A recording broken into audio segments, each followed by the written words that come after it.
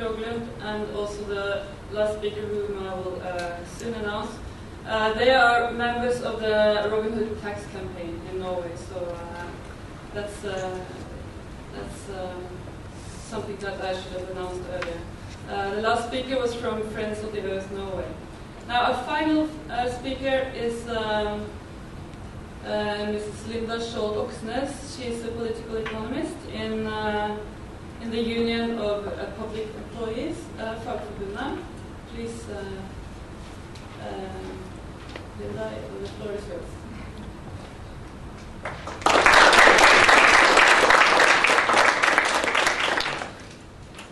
Thank you. Um, I will speak a little bit about why Fagforbundet is uh, supporting the introduction of a tax on financial um, transactions.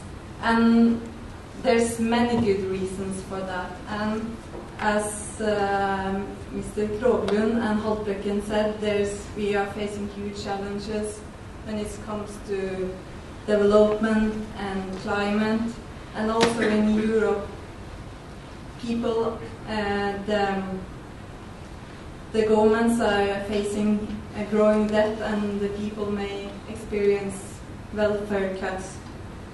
So for us, this is not a question. Um, this is not a question whether the money is needed. It's about how the money should be generated. And for Fagforbundet, the financial transaction tax is a just and fair tax. It would, um, and for us, it's an important point that it would contribute to a fairer, a fairer distribution of the resources of the society. It, as uh, Benedicte said, it would be put on the sector, which is maybe one of the hugest, the winner of the globalization, and it could compensate those who haven't been able to gain from those welfare increases. And we will also say that the tax would contribute to a fairer tax burden. The financial sector has gained huge recently. It is, has been lower taxed than other sectors. One reason for that is they have no value. They're not taxed by the value added tax. And they also have this implicit low tax through the guarantees. As we've seen in full action now, they receive huge amount of money to be rescued out when the when the crisis occurred. And only in Europe that would amount to around 38,000 kroners. And there's no wonder why the European uh,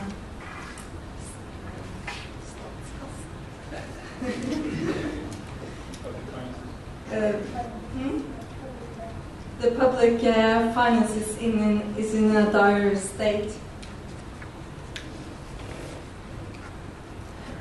And this is also why the, I guess, would be that the EU Commission has changed their mind and now actually are proposing a tax on uh, financial transactions. It's just due to um, social mobilization, and the taxes also have broad support in the society. And in the recent polls in the EU, it showed that a majority of the EU citizens actually are supporting a tax like that. So here the government has the opportunity to actually introduce a tax which is hugely popular.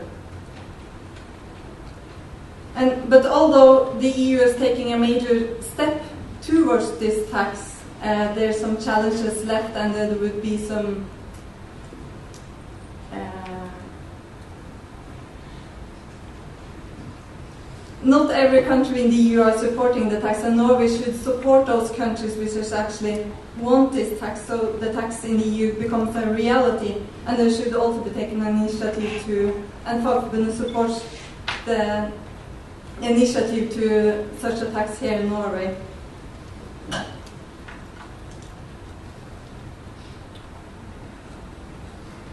And we also, the consequences of the tax is debated, but um, we are convinced that the tax would uh, stabilize the society. We believe. Why is it so um, dangerous that that um, frequency that people cannot move around the money in such a high speed? Would that make the market less efficient? We believe. We are convinced that it's the opposite. It's actually contribute to stabilize the economy, stabilize the production, and give better. Uh, I, I prepared this in Norwegian, so um, it would. We think it would maybe push the investments into more long-term investment, and that would be positive for both welfare, employment, and the economy as a whole.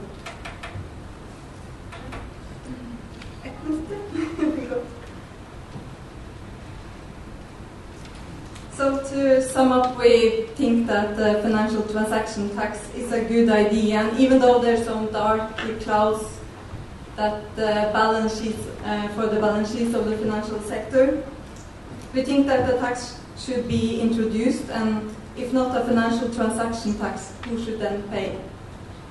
Thank you.